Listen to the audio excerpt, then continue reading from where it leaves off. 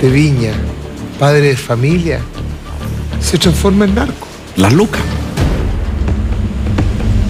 Punto. Las lucas.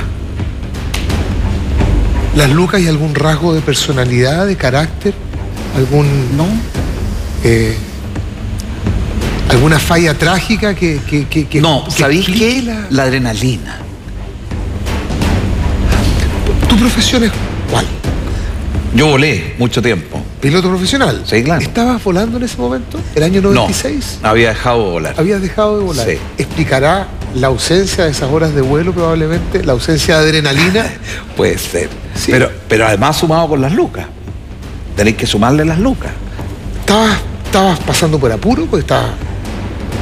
Estaba echando a andar eh, un, un- un negocio que siempre eh, eh, te falta cuando tú estás partiendo. Cuando estás partiendo, sí. Pero eh, el- el- la nece- la- las ganas de Luca, además que se, se presentó en ese momento la posibilidad de hacer una cosa grande. ¿Por qué te contactan a ti, Horacio?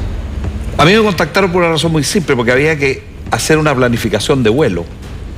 O sea, en tu carácter de ex piloto Exacto. profesional, Exacto. te contactan. Claro, porque había que hacer una planificación de vuelo, porque entrar una, tonelada de cocaína a Chile no es tan difícil. La semana pasada el, alcalde de Billo Higgins dijo que hacía dos años que la frontera estaba abierta y entraba y salía el que quería como Pedro por su casa, por el sur de Chile. O sea, y eso lo dijo el alcalde de Billo Higgins, no lo digo yo. No es fácil, no es tan difícil, pero tampoco es fácil. Entonces, querían estos colombianos meter una tonelada de cocaína, a- a- querían meter dos, a través de Chile a Europa. Ya, pero un momento. Es que me dijiste, claro, puede, puede que sea fácil eh, eh, o no tan difícil. Pero habiendo tantos expertos en materia de vuelo, ¿por qué, te, ¿por qué te ubican a ti y no ubican a otros? Porque yo fui consumidor, porque a mí, yo conocí a una persona en el norte que fue la que me contactó, que sabía que perfectamente bien de mi, de mi experiencia y todo, entonces yo tenía una relación. Tú tenías ya una relación con la droga, probablemente. Eras consumidor de Yo cocaína. había sido consumidor de cocaína fuerte. ¿Habías sido? Había eras- sido. No, ya la había dejado. ¿Ya la habías dejado? Sí. Pero mira. ¿Y cómo se produce el contacto, Horacio? Bueno, me llamaron, me ubicaron, yo también, oye, pucha, que pa, pa, pa. Ya, ok. Hay una reunión. ¿Podéis venir? A Iquique.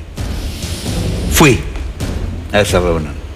Y ahí habían unos colombianos, y ahí partió la cosa. solito, no le comentaste a nadie, no, Solito, le, no, no le solito. comentaste a tu familia, no le comentaste a tu mujer. Mira, cuando tú te vayas a meter a dar estos pasos, tú no lo podés tapar en la intimidad de tu casa. Porque te ponís raro. Empezáis a aparecer con plata.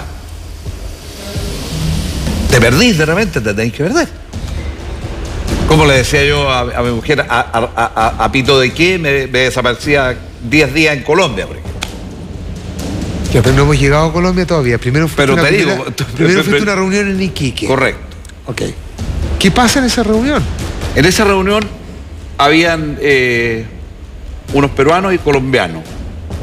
Y lo que querían, ¿Cuántos eran? Nos podemos imaginar. ¿Y dónde se Eh, juntan? ¿En un hotel? en un- no en un departamento, en, un, en el departamento de una persona. En un departamento. Sí.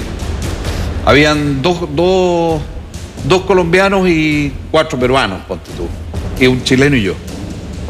Y un boliviano había también. ¿Había miedo? Siempre hay cuando tú tenés un, un- ¿En qué me estoy metiendo? Exactamente, porque probablemente, perdón, te lo voy a preguntar a ti, ¿tenías la noción de que una vez que se verificara esa reunión no había vuelta atrás? No, todavía había vuelta atrás después de esa reunión. Había vuelta atrás. Claro, había vuelta atrás. ¿Estaba en tus planes? ¿La vuelta atrás? Sí. ¿Iba solamente a probar, veamos qué onda o estaba ahí? Veamos decidido? hasta dónde llegamos. Veamos hasta dónde llegamos. Claro. ¿Hasta dónde llegaste? Veamos, ¿qué, qué, qué fue lo que pasó? Bueno, en de esa reunión eh, surgió al, al- al poco rato, al, a los pocos, al poco tiempo, que me, me dijeron si podía ir a Colombia. ¿En qué quedaron en esa reunión? ¿De qué hablaron? Nada, no quedamos en nada. ¿Pero ¿De qué hablan? ¿De qué hablan, Horacio? Eh, De la posibilidad que las líneas, lo- lo- siempre esta gente busca líneas. Líneas, perdón, líneas aéreas. líneas, me no, no, no, líneas por dónde, cómo lo hacemos para sacarla. ¿Esa droga venía de Colombia? Esa- de Colombia a Paraguay y de Paraguay a Chile y de Chile o sea, a Caldera, lo íbamos a hacer en Caldera, Ajá. en- en- con dos aviones turbohélice porque iban a ser 500 kilos y 500 kilos, y de ahí en camión, en un camión o una camioneta o, o un camión tres cuartos, qué sé yo, hasta Puerto Montt. Esas fueron las líneas que ustedes... eh, Esa era la línea. la línea, ya. ¿De eso, ¿De eso hablaron en la reunión esta, en Iquique? No, pero hablamos de, la- de- de- de- de hacer una planificación, de, de entrar eh, un volumen más o menos importante, una, dos, tres toneladas, cómo llegar con una o dos o tres toneladas a Chile. Esas personas con las que tú te juntaste en Iquique, ¿las habías visto alguna vez? Nunca. A uno sí. A uno Al- sí. al- claro, al- a mi contacto. Perdón, aquí estoy operando desde el imaginario, desde lo que está en el imaginario, Sí. imagino de los que están escuchando esta conversación. Por ¿Hay supuesto. contraseñas? No, no hay cosas que no se deben No. hacer. No, no, no. Es una reunión. Ahí, hola, ¿qué tal? Hola, ¿qué tal? Hola, ¿qué tal? Hay un conserje en la puerta del edificio que le dice, vengo a hablar con el señor citófono nomás. citófono. ¿Había oh, guardaespaldas? No, en esa reunión no. No había armas de fuego. No, ninguna. Eran cinco hombres adultos, cinco me dijiste. Cinco o seis hombres adultos. Sí, una, seis reunión, hombres. una reunión de negocios más. Nada más. Y usted se va para su casa, se va a Viña. Sí, señor. Me tomé una un vuelo en la tarde y me volví a Viña. ¿Cuánto tiempo después? ¿O, o qué, qué ocurre en ese entonces? 15 ¿Usted días, a los 15 días me llamaron. ¿Queda conectado? Eh, con, el, con mi contacto siempre. Con su contacto siempre. Claro.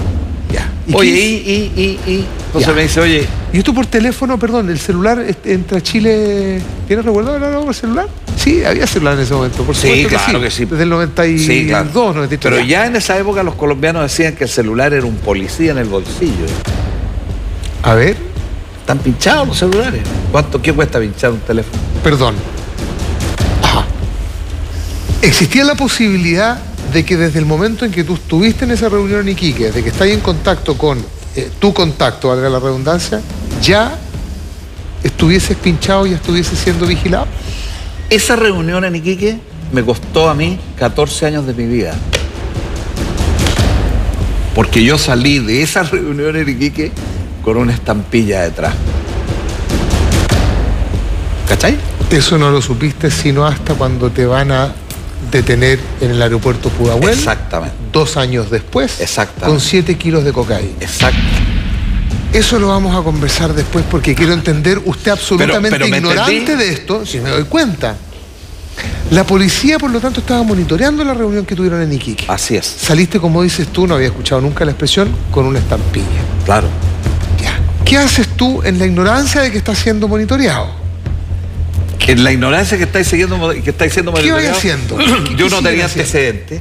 Ya. Por lo tanto, yo podía seguir echándole para adelante. Y así estabas, echándole para adelante. Obvio. ¿Qué hiciste 15 días después de esa reunión? Bueno, me llamó el- mi contacto y me dijo, oye, ¿te acordás del fulano? Sí, qué sé yo. Oye, no, para todo esto cuando me llamó, oye, por favor, com- comuniquémonos con un teléfono para aquí, por allá, ya, ok, aló. Oye, ¿puedo ir a Colombia? ¿Cuándo? Mañana, ya, vamos. Nos mandan los pasajes, qué sé yo, un poco de plata para cada uno. Pum, pau, vamos.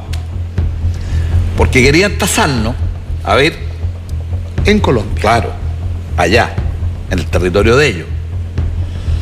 Tasarnos y ver, ver qué posibilidad concreta había de poder hacerlo, si había seriedad en, una, pla- en hacer una planificación de vuelo, si se podía hacer una planificación de vuelo, porque yo lo que, lo que yo dije era que yo podía planificar de, de- de que a mí me entregaran mil kilos, yo sabía cómo, dónde aterrizar los aviones, y que yo los podía sacar a Puerto Montt y de Puerto Montt los podía embarcar en un container a donde a mí me dijeran. Tú estabas dando esa garantía, tú Claro. tenías el know-how. Exacto. Vale decir, ¿el know-how del tráfico o del vuelo? Las pelotas tenía yo de hacerlo, porque en realidad el know-how yo no lo había hecho nunca. Tú no lo habías hecho nunca, No. pero o sea, eras capaz de subirte a ese avión y hacerlo llegar a donde tenía que llegar. O sea, yo, yo no iba a volar esos aviones, yo lo que iba a hacer era planificarles el vuelo, tenerles el combustible, que llegaran con la droga, bajar la droga, cargar de combustible, que los aviones se fueran de vuelta y yo me quedaba con la droga aquí. Nunca habías hecho esto. Nunca. Antes, jamás. Nunca. Y llegas con las pelotas, como dices tú. Exacto. ¿A qué ciudad de Colombia? A Bogotá. A Bogotá. ¿Y con qué te encuentras? Bueno, en Bogotá nos, me estaban esperando, nos estaban esperando, fuimos dos. Eh, nos estaban esperando los dos, los dos colombianos que habíamos estado en Iquique, Ya. ¿ya? Que uno de ellos era el jefe. indudablemente, del otro. Pero no era el, tampoco era el boss del, del cuento, O ¿cachai? sea, todavía estabas con los mandos Totalmente. medios. Totalmente.